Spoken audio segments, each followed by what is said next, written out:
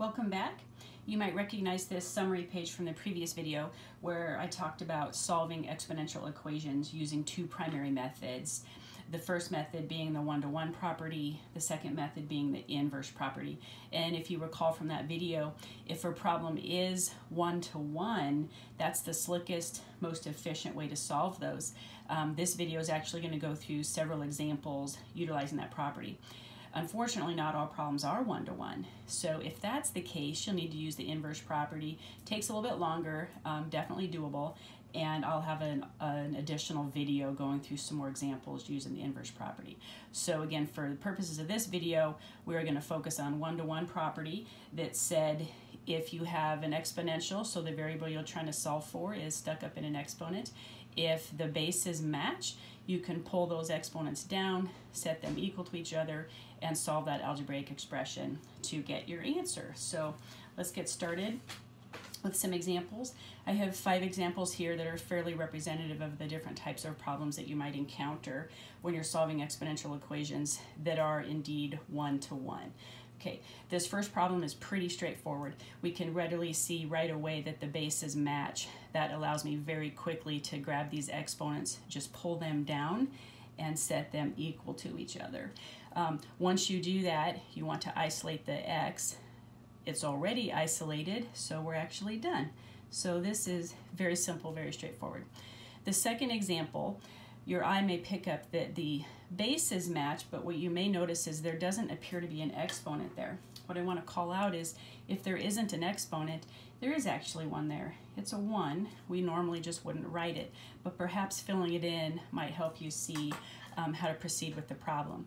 So again, bases match. We're going to grab these expressions that are in those exponent positions and set them equal to each other. So we have x minus 5 equals 1.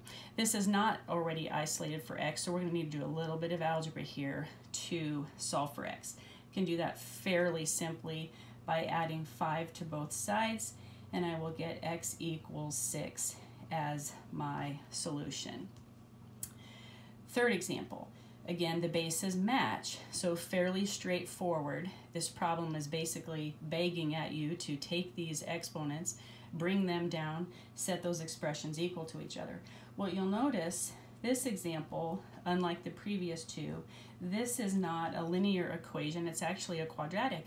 So we want to utilize our quadratic techniques. We may need to shake a little dust off um, to go remember how to solve those. So when you have a quadratic, you want to get everything set equal to zero. So since I have a positive x squared over here, I'm actually going to subtract both of these terms over here, set equal to zero. So if I subtract the x, look like that, and if I subtract the two, this is actually the algebraic equation I'm going to go solve. Um, this is a quadratic again. It does factor. If you are not sure how to do that, you may need to go back and brush up on your factoring skills. Um, if I do factor this trinomial, I have a 2 and a 1. Because that's negative, they're going to be opposite in sign. The negative is going to go with the 2 and the plus with the 1. If you're not sure if this is factored properly, you could always FOIL it back together again and convince yourself that's what you get. The interesting thing about this problem, because it was a quadratic, that means I actually have two potential answers. Um, the zero product property allows me to take each one of these factors one at a time and set it equal to zero and then solve the subsequent algebra problem. So here I'm going to get x equals 2 and the second one I get x equals 1.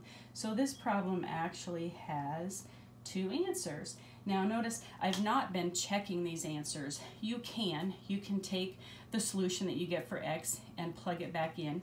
Um, these we would do one at a time. You can stick this 2 back here and here and confirm that you get equivalent expressions. Um, we don't need to do that from a legality standpoint. Exponential equations, their domains are all real numbers. Um, some equations have one solution, some equations have more than one solution.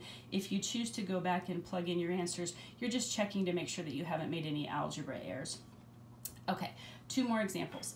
Um, when you look at these two, initially they look like they may not be one-to-one.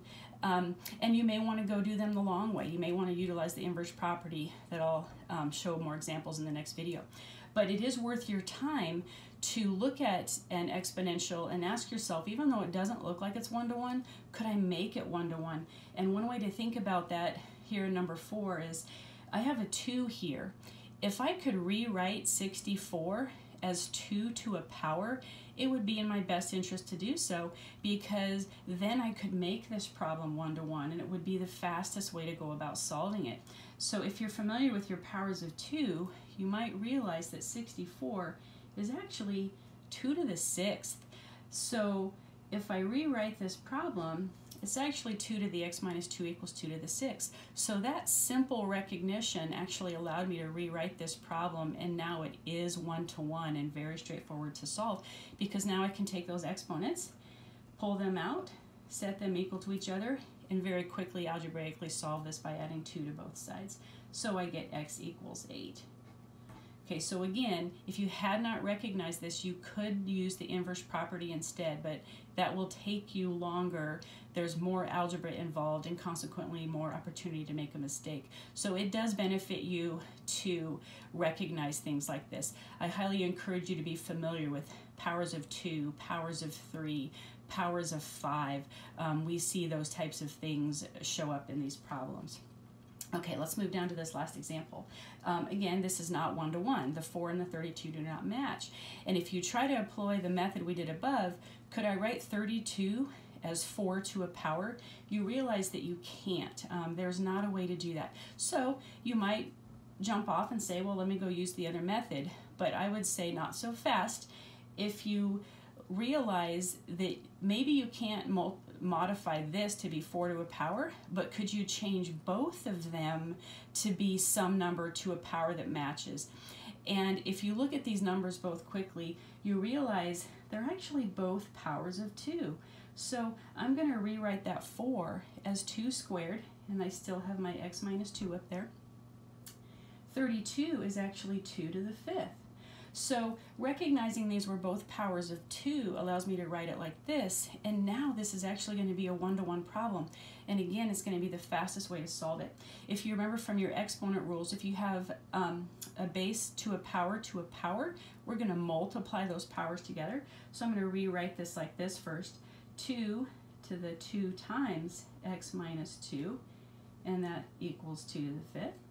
Um, I can distribute this 2 through, so that's actually 2 to the 2x minus 4 equals 2 to the 5th.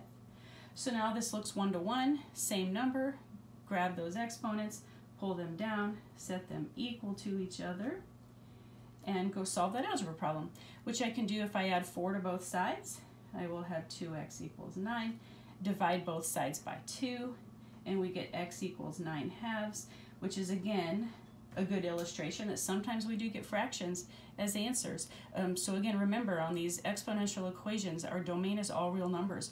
We can get positive numbers, we can get negative numbers, we can get fractions. Um, you just never know what might show up. The key is that I can't stress enough is if a problem is one-to-one, -one, it will be the most efficient way for you to solve it. Some of them will be obviously one-to-one, -one, some of them may not. But the quicker you get at recognizing and utilizing your manipulation skills, um, the more efficiently you'll be able to solve these problems. So unfortunately, not all problems are one-to-one, -one, and we're not going to be able to use this method, and that will be the focus of the next video. I'll be showing you some examples of how to utilize the inverse property to solve exponential equations. Again, I hope this was helpful.